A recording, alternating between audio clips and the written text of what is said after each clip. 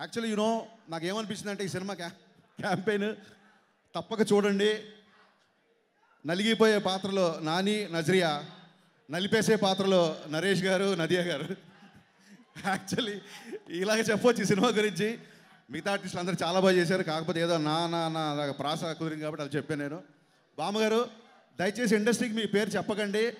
ఫర్దర్గా ఎవరు మిమ్మల్ని సినిమా పిలిచినా పలానా సినిమాలో బామ్మగారిని పిలవండి అని అనాలి. నిజంగా ఇంట్లో బామ్మ ఎలా ఉన్నారో అలా ఉన్నారు. హర్ష గారు నరేష్ గారు నది గారు ఆయన పేరు నాకు పూర్తిగా తెలియదు టీ గారు ద రెవల్యూషన్ ఆఫ్ టీ గారు టు థామస్ గారు. టీ గారు ఎక్స్ట్రానర్గా చేశారండి. నది గారు హాస్పిటల్ తీసుకెళ్తాం అన్నప్పుడు ఇచ్చిన ఒక చిన్న ఎక్స్ప్రెషన్ నేను నవీన్ గారు మాట్లాడుకున్నాం. ఒకసారి హాస్పిటల్కి చిన్న పని ఉందమ్మా బయటికి వెళ్ళొద్దాం అన్నప్పుడు ఆ ఒక్క ఎక్స్ప్రెషన్లో తల్లి పడ్డ ఒక తపన ఒక స్ట్రగుల్ అనేది జస్ట్ ఇంత ఫుటేజ్లో చెప్పారండి. Hats off to you one of the finest finest finest actors of our generations actually ఇకపోతే అలా లీలా. మీకు been watching you work right from Raja Rani actually before Raja Rani. ఎక్కడ కూడా నజరియా కనబడలేదు. We could see only Leela అండి.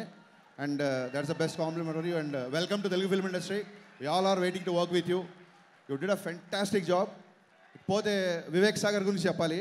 ప్రతి scene నేను బయటకు వచ్చి ఇదేంటో సినిమానా? ఏమైనా నృత్య రూపకం అన్నా నేను.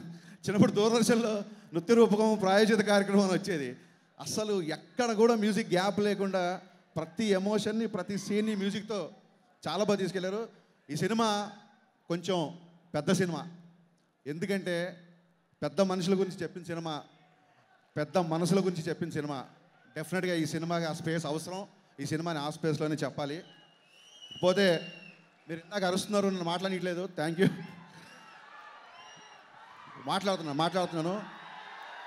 మంచి సినిమాలు మంచి టాలెంట్ మంచి సినిమాలు మంచి టాలెంట్ ఎక్కడున్నా ఎక్కడున్నా కళ్యాణ్ గారు ఎంకరేజ్ చేస్తారు.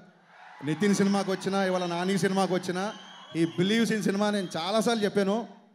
మళ్ళీ చెప్తున్నాను. గెలుపు కోసం గెలుపు కోసం పరిగెత్తేవాడు గెలిచిపోయిన తర్వాత ఆగిపోతాడు. ధర్మం కోసం ధర్మం కోసం నిలబడ్డవాడు ఎన్ని ఆటుపోట్లు వచ్చినా అలాగే నిలబడతాడు. గెలుపు శాశ్వతం కాదు ధర్మం శాశ్వతం. ధర్మం మాత్రమే శాశ్వతం. ఆ ధర్మం కోసం నిలబడ్డాడు కాబట్టే కళ్యాణ్ గారికి మన గుండెల్లో స్థానం శాశ్వతం. ఆయన క్రేజ్ కూడా అంతే శాశ్వతం. Thank you thank you one all thank you so much Harishankar గారు అండ్ గోపిచంద్ మల్లేని గారు. Thank you